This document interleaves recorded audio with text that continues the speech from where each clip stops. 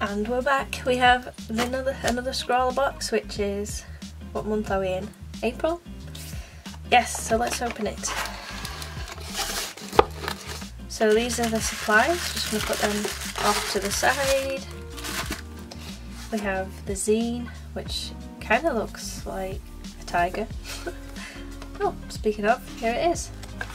The print of the artist, which is by Cecilia, I think that's how you pronounce it.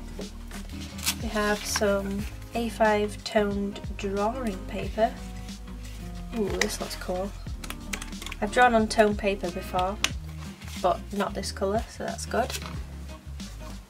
I'll just move these to the side and we will look at the supplies. Oh, look at that, it's hefty. Chunky eraser. Right, let's open it.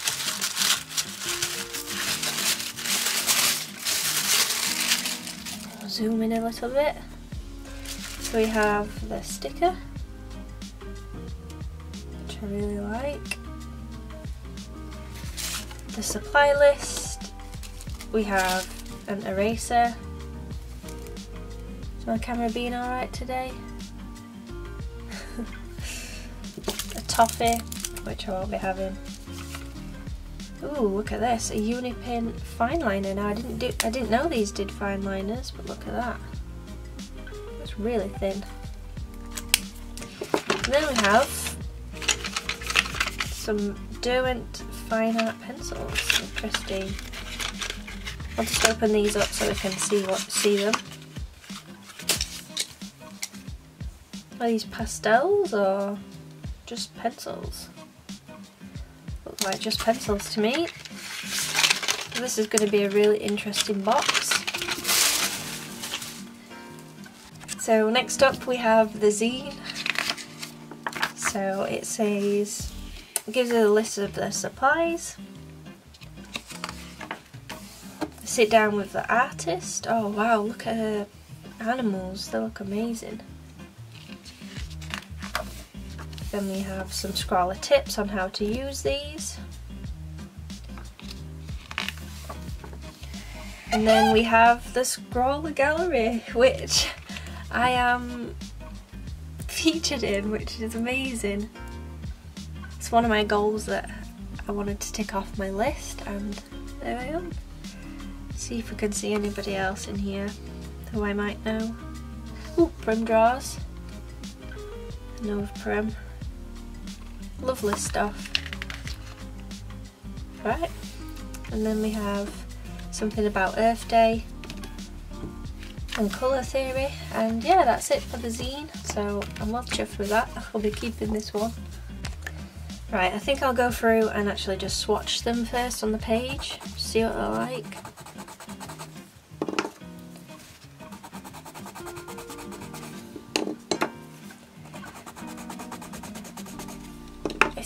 It's they're definitely pencils, they're not pastels, but for some reason on here they look like they could be pastels, but I think it's just they've been blended really well. And I presume they blend it using a white pencil, but we will test that in a minute. In fact, we'll test it from this green.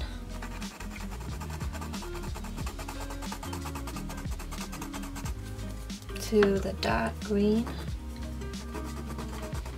and see how they blend. I have to go over it a couple times.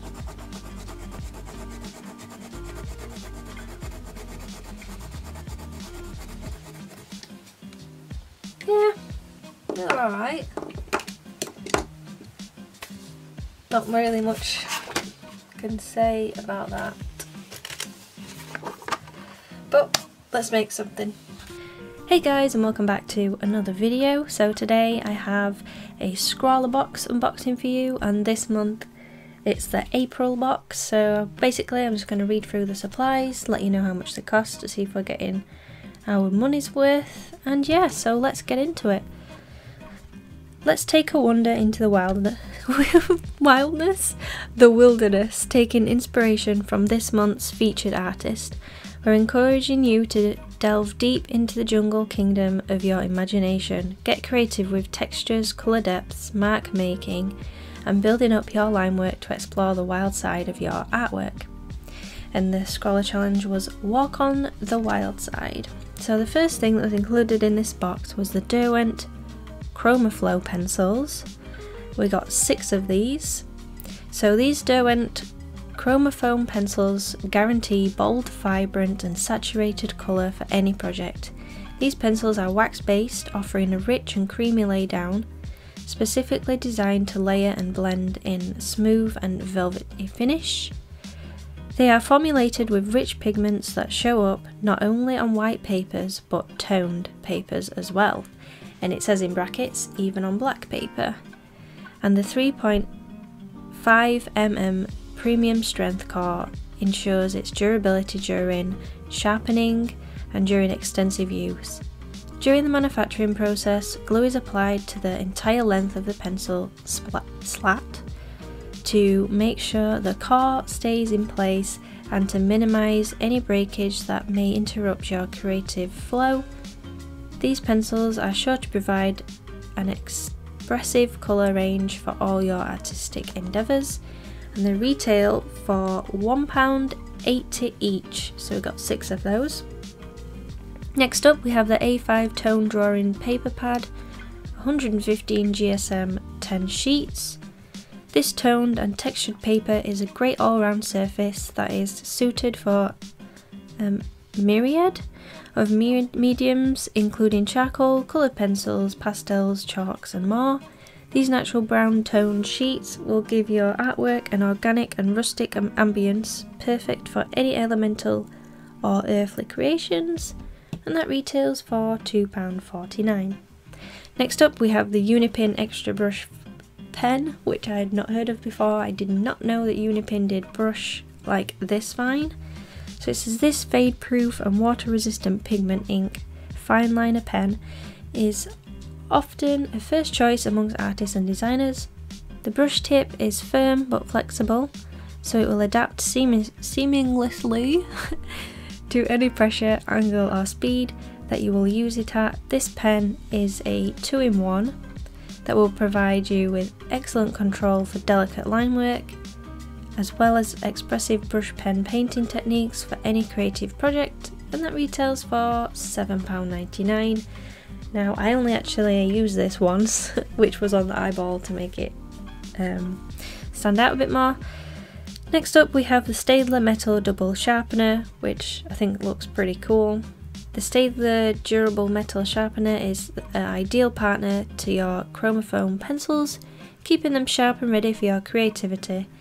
It features two holes that will cover a wide range of pencil sizes up to 10.2mm diameter and it is also an extra long guiding slot to prevent wedging or breaking, prolonging your pencil's lives for as long as possible.